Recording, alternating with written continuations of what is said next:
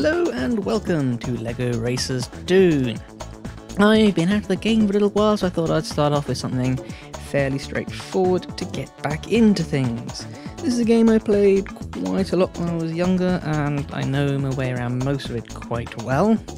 Should of course make things nice and easy for us. We are going to be taking a one player course, we're going to be doing the adventure mode, which is basically the story mode, and we're going to start a new game.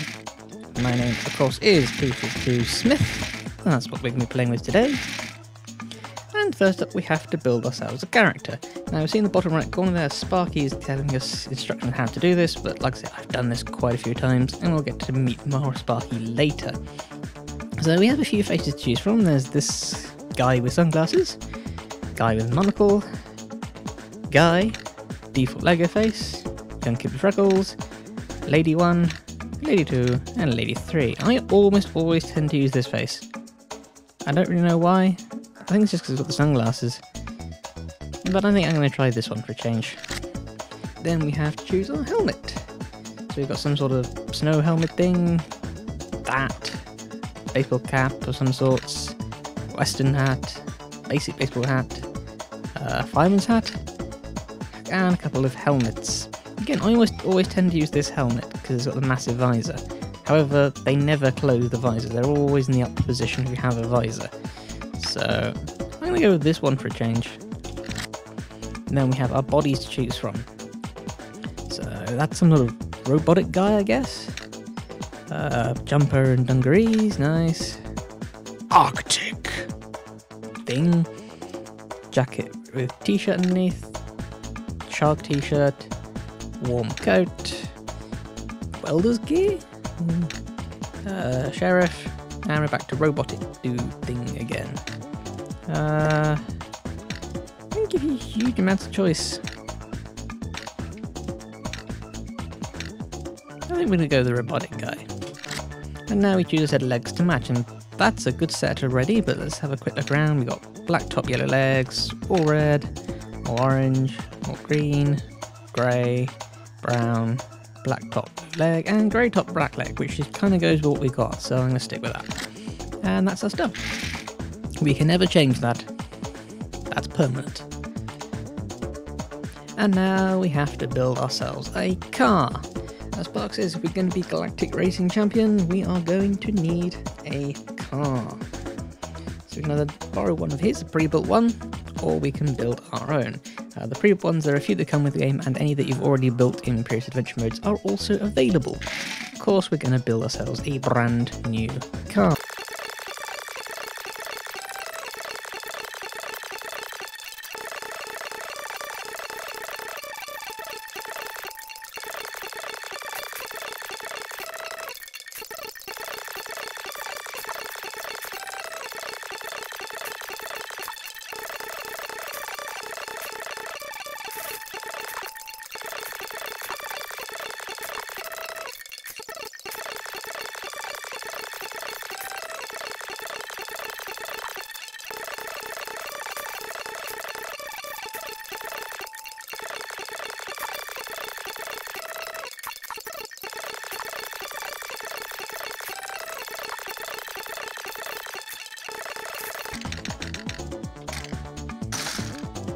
There we go. Okay, I think that's going to do us. Four left over, but oh well. So we'll store that so we can find it later if we're so interested. Just slightly concerned I might run out of space, but Right, and now Sparky's telling us how to get around. We'll be seeing less of him as this goes on, but early on we see quite a lot. So he's giving instructions. Oh, apparently I've remapped the controls. I should pay attention to this. Oh, I moved it to WASD keys. Normally it's the arrow keys that tell you the drive, but apparently I've moved it to the WASD keys, which is slightly concerning because it means I've also remapped the other controls somewhere.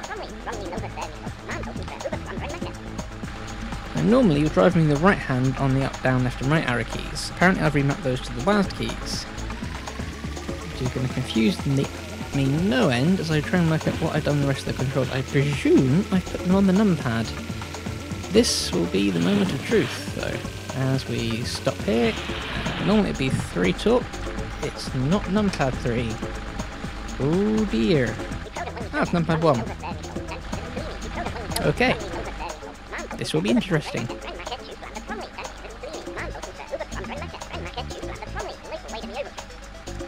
Apparently there's a bit of commotion in town, so let's find our way back there. Was one the talk key? I'm confused now. This is what I get for not playing the game since I last played it for a while. oh dear. Oh dear, oh dear. Let's just pull up next to the screw and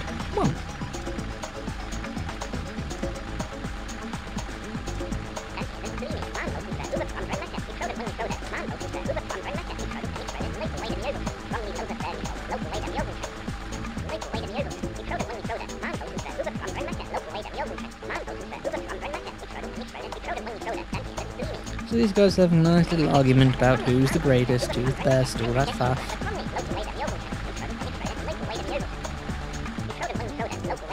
Everyone's responsibility to get around the fastest, so...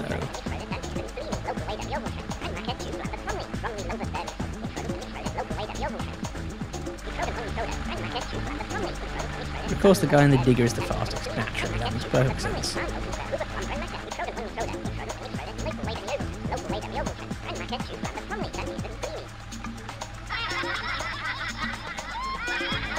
Oh, that joke's as a boo. Oh, come on, that's just rude.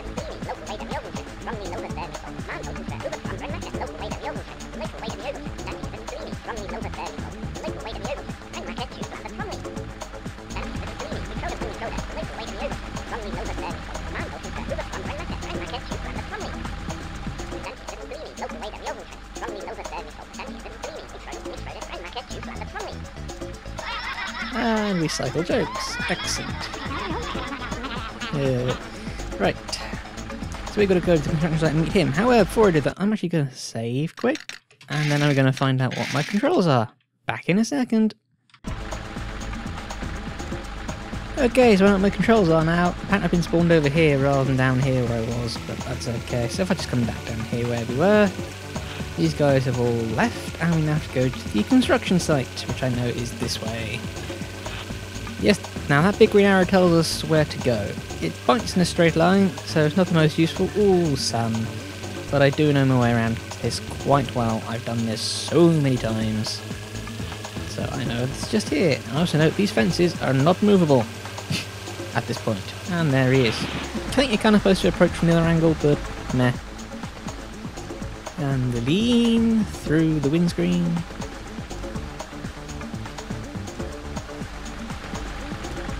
That's us near. Yes, I am here. Let's race indeed. So, this wouldn't be a game about LEGO racing we didn't have races. Now, these first races are 1v1, they're not the most interesting in the world, but we'll get through them. This is all about learning how to control your car and how the races work. So, he's racing us in a digger, and we are ever so slightly faster, thankfully. At this point, it's a simple. This is a two-lap race, and this is our first set of pickups. So, when you get one, they cycle round what you get, and it'll eventually tell us something useful. That is, ooh, that's a useful one early on. So, oh, he's picked that one up there. So, this one creates a little bubble around our car that expands, grows bigger, and then eventually explodes, like this.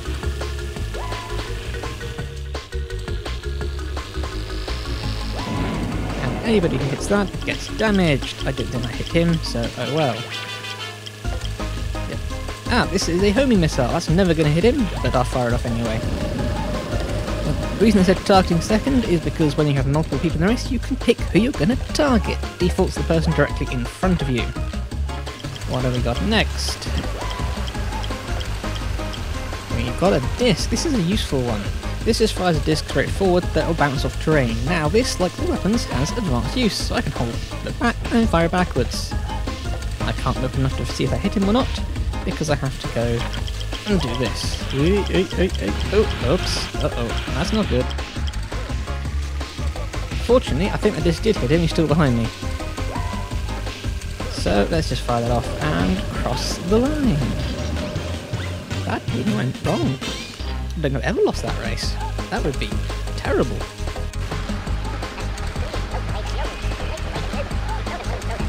Impossible. uh, let's see, it's a digger and I'm in a car.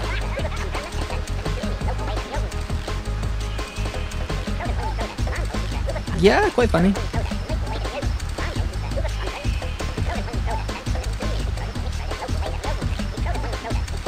Over the post office, will do. He real runs my money. Okay, okay, this guy's confident. Um, what we'll do now is we'll take a look at the replay. If there's anything special, I'll cut it in. If not, we'll cut straight past it. So now we have to go and visit the postman, who is conveniently just over this hill. See? Hello, postman. Mike, the postman. Uh, I think I probably know better than you do, mate.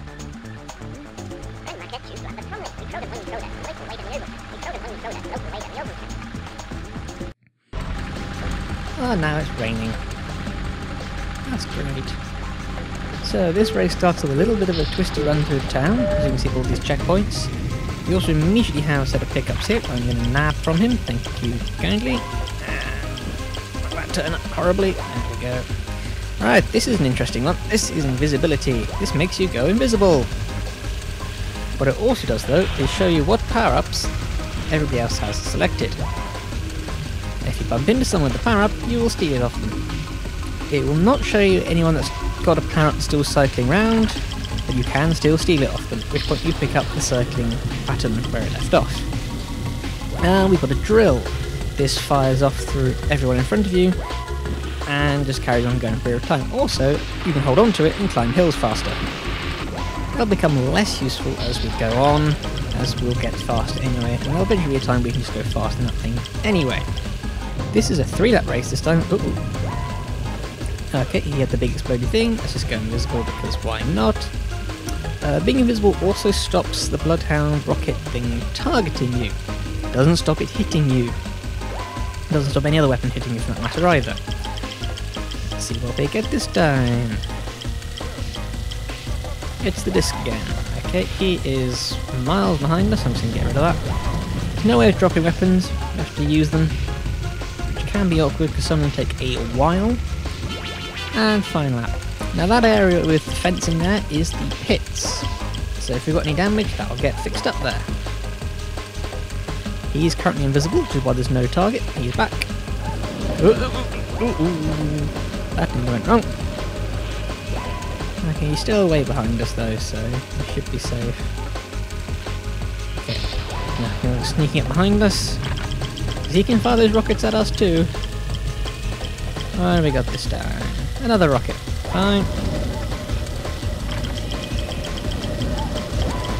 And last but not least, another rocket, because why not? And across the line.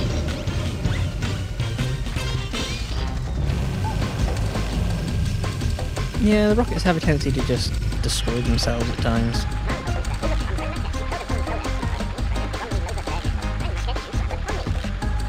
Oh, I've been playing this game for years, mate. And Fireman's turned up.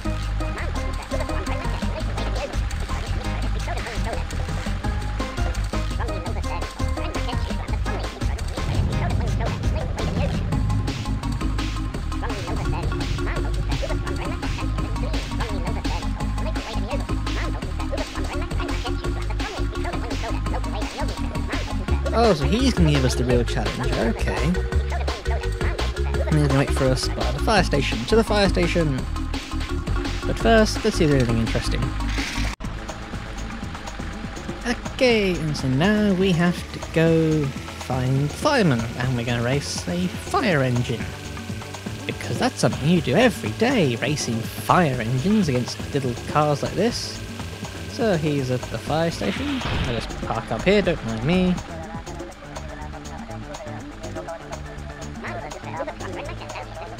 Okie dokie. Really? You couldn't have waited? Or don't before I got here?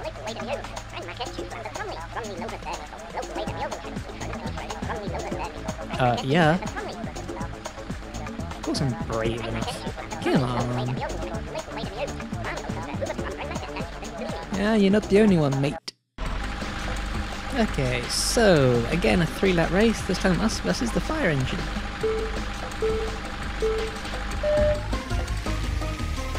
Our little thing versus his massive fire engine. And he's going to try and head us off that part, but we got it first. Ha ha ha ha ha.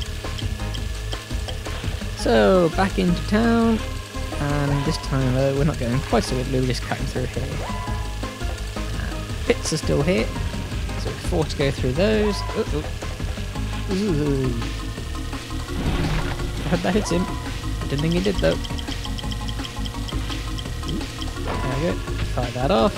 Uh, that one.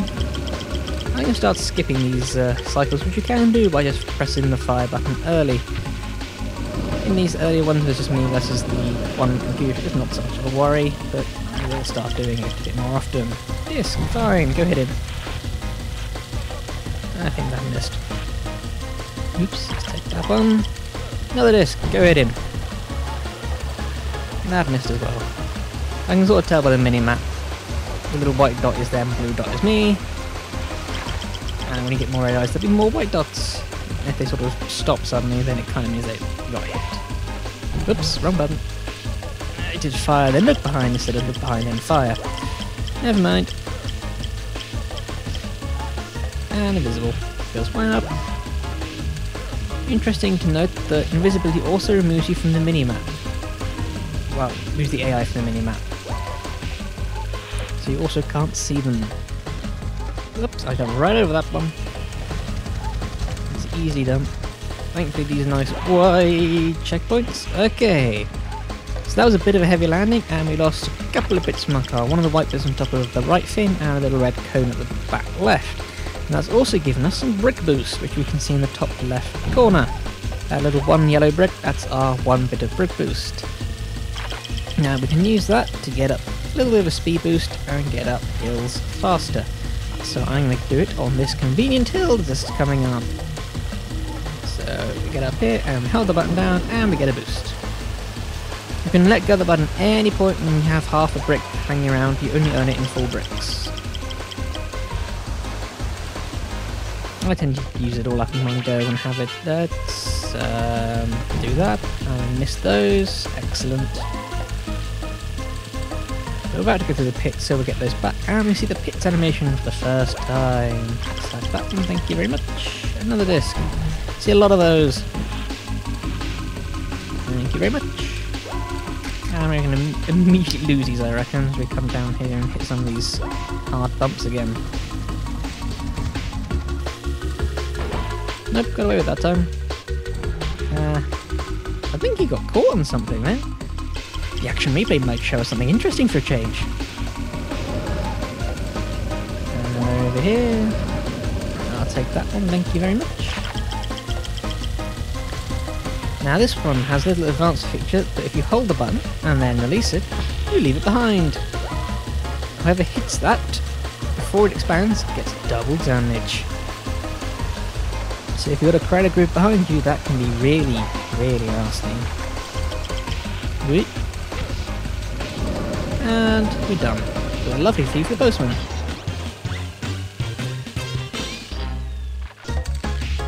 Not bad.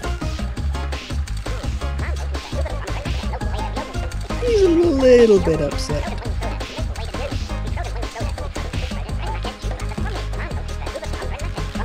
Myself or the policeman?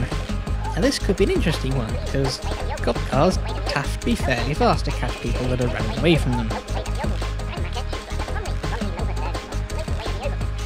So this this could actually sort of happen. But let's see what happened. Let's see what he got stuck on. And now we have to go find the policeman. Now this is actually an interesting one because the green arrow thinks we're already close enough to him that it's already flown off and landing above him. Which means if you don't know where he is, this is very difficult to find him at first. Fortunately, I know he's just around this corner. There. Hello.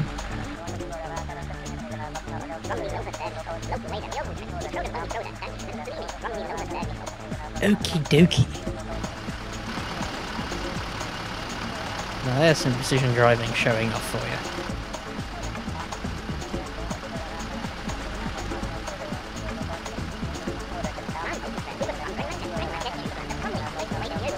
Oh, he's confident.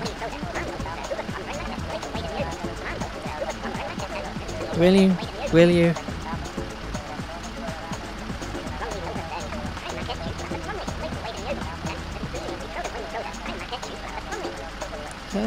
Point. So we're getting late in the day. It's the final race on Sandy Bay. It's us versus the old Bill. And immediately we get a head start. Ah, uh, not so good. Oh, he got unlucky there. Yeah, that can sometimes happen. If they're quite close, it can just fire backwards and fun ensues. Here. If I hold just to the right, I think there is ah, waiting for us. So pits are over there, red route is over here. Doesn't make much difference in the long run. It's just useful to know that they're there. Not forced this time. Interesting, there was a pits route available in the first race. You may have noticed it as we went over the hill by the construction site here. In fact, it was just down this side here. It wasn't marked on the map, but it was here. They don't really expect you to need the pits that early in the game, but it's there. Let's get rid of that. And first that done. Ah, oh, come on. Perhaps just there. Steady. Uh, disc. Oh no, the rocket. What am I talking about? Let's get rid of that. Pick up that stylishly. Ooh, he used a drill which hit the beacon. Nice, thank you. Uh, no, that's not gonna hit him. Don't know why I was thinking that.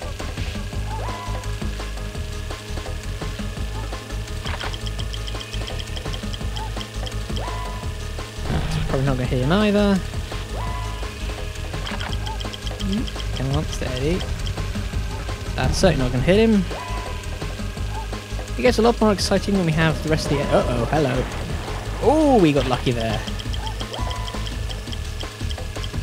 Thank you. Get rid of that. Yeah, we're getting very lucky this race. That early... Having said that, we had that early hit on him, and we got away with that first rocket, but not that second one, apparently. That being said, he's actually still quite a way behind. Notice we didn't get any brick boost for loading those bricks, you only get that for hitting stuff, not by being hit by weapons. That'd be a little OP. Uh, I've lost, what, one, two, three, four bricks? Or five lost that left light as well. So we'll go through the pits, we'll get them back. It's not going to make a huge difference, he's miles behind! And we'll go invisible while we do it, because why not?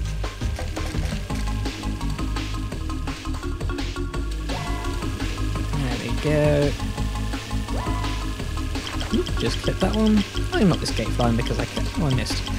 Oh well, yeah, you can knock some of the gates around. Yeah, he, he's nearly half a lap behind us. I think I think we're gonna win this, folks. Have to screw up massively here at this point to not win. Um, I've played this game a lot, so he was heading to the pits at the end there. I wonder if there was something we missed. I wonder if he rammed into something really hard.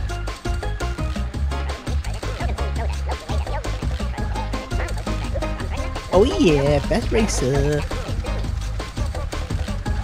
You better believe it, mate.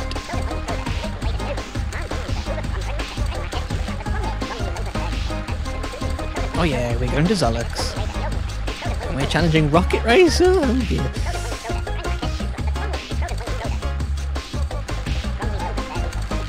Oh good. Yeah, he, he's got a very good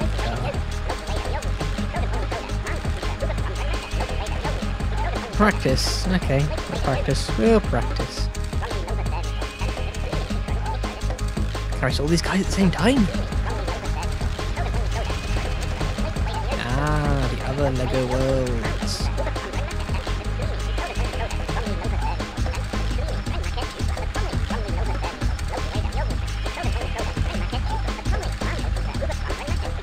Okay, sounds like a plan. Oh, let's pick the questions. Yep, gotta get there, of course.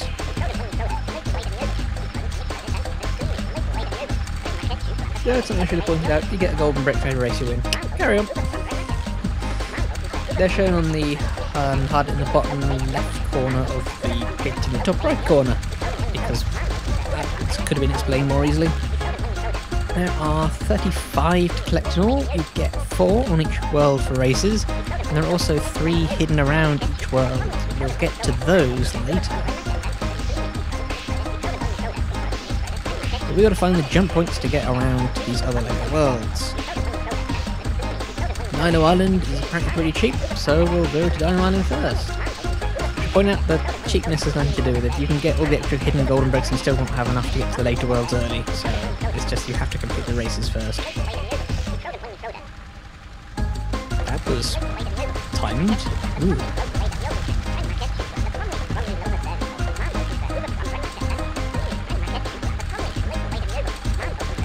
Thank you, Sparky. I'll make you proud. But first, I want to see what that guy got caught on at the end.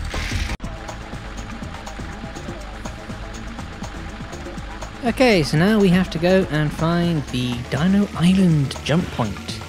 Uh, there's a ramp around here somewhere. I think it's in front of these houses. There's a reason I'm going this slightly longer way, because I don't want to ruin things. so we'll just come through this beach. It's apparently over that way. It is, but I'm gonna I'm gonna do it the proper way. So go up this ramp, and then over to the left. There will be another ramp. There it is. S- Spin round here, and here we go. The Dino Island jump point. Yes, pull up. Oops. Yeah, if you go too far, you get respawned. That's pretty. I didn't mean to do that, but oh well. And here's Sparky standing at the entrance. Hi, Sparky. Yay! No, because that gives us the option to save. Let's go Dynamite. Thank you. Thank you. Can I skip your dialogue? No. Thank you.